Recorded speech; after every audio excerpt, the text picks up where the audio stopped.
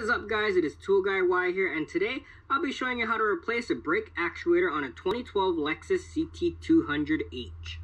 These are some of the tools that are required for you to have to fully complete this job, so please take some time and pause to read this thoroughly before starting your repair. Also, there's a certain skill level required. If you guys aren't comfortable doing brakes or brake bleeding procedure or just using a scanner, I don't recommend attempting this repair. Start the repair by plugging your scanner into the OBD2 port located underneath the driver kick panel. In this video, I will be using the Snap-on Solus. Once in your scanner, scroll down to anti-locking brakes, then functional test, then zero down test. The zero down test lowers the brake fluid pressure in the accumulator before we start the repair. Once that's done, go ahead and remove the negative cable from your battery and pull out the service plug.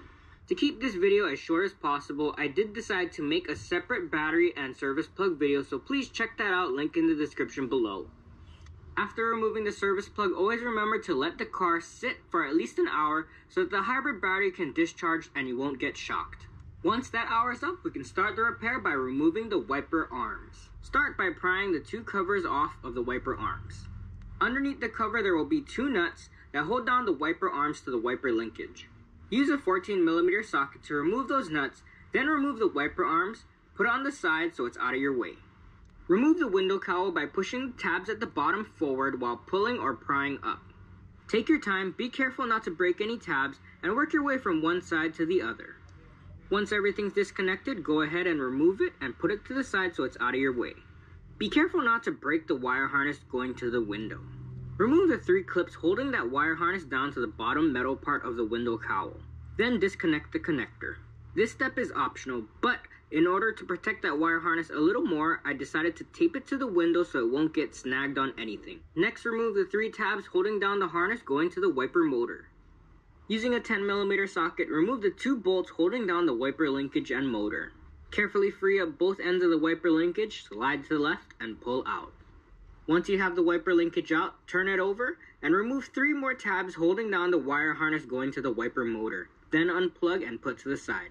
Next, using your 10mm socket, remove a ton of 10mm bolts holding down the wiper linkage tray.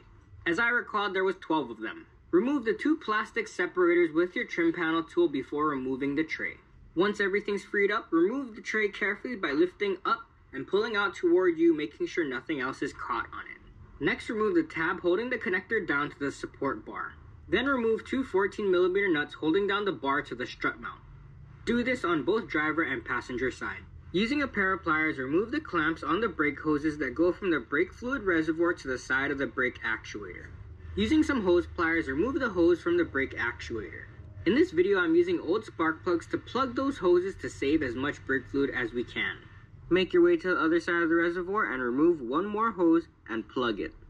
Remove two 10mm nuts holding down the brake fluid reservoir to the support bar. Unplug the brake fluid level sensor and remove it with the brake fluid reservoir.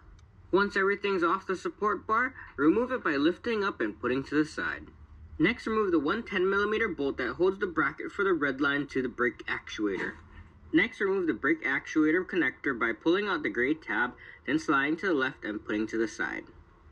After that's done, we could finally start removing all the lines to the brake actuator. Remove 5 lines using a 10mm wrench, one at the top left corner and 4 in the front. In this video, I broke all the lines loose with a 10mm line wrench first. Using a line wrench first reduces the risk of stripping those tight lines. Also in this video, I painted each line a different color of nail polish, then took a picture to prevent line swapping when reinstalling.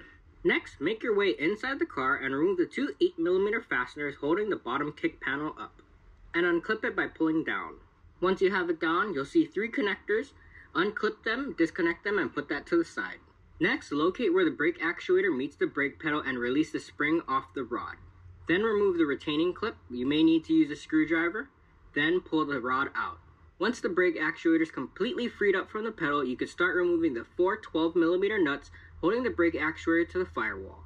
In this video, I used a 12mm deep socket with a 3 inch swivel and a 6 inch extension to make it easier.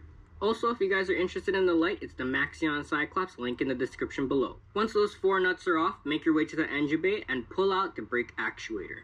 When pulling out, make sure that you keep in mind not to snag anything like brake lines or any harnesses while pulling it out. If your new brake actuator doesn't come with a new gasket, don't forget to swap over the old one to the new one. Congratulations guys, you now know how to remove a brake actuator on a 2012 CT200H. To reinstall, just install in reverse order.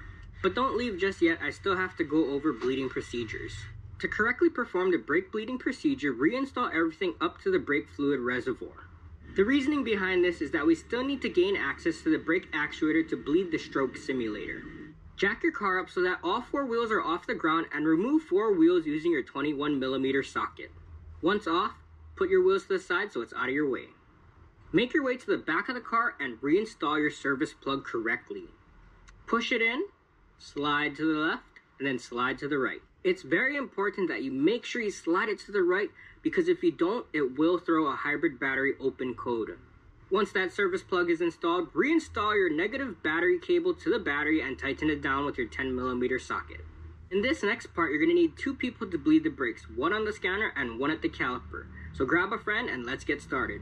Connect your scanner, read the VIN, and make your way to where all the control modules are listed. Scroll down to anti-locking brakes, then air bleeding, then ABS actuator removed. From there, follow the step-by-step instructions provided by your scanner. To bleed the calipers, you'll need an 8mm and a 10mm wrench. Following the instructions provided by your scanner, it'll have you bleed the passenger rear wheel, then the driver rear, then driver front, then passenger front. Keep in mind between every wheel you should be checking your fluid and topping off as needed. After all four corners are bled, the scanner will have you bleed the stroke simulator. After the scanner will have you rebleed the driver front wheel, then the passenger front, Keep in mind, as more brake fluid pressure builds up in the actuator, more brake fluid is going to be coming out. So don't forget to keep topping off your brake fluid. In this next part, the scanner is going to activate the ABS actuator five times.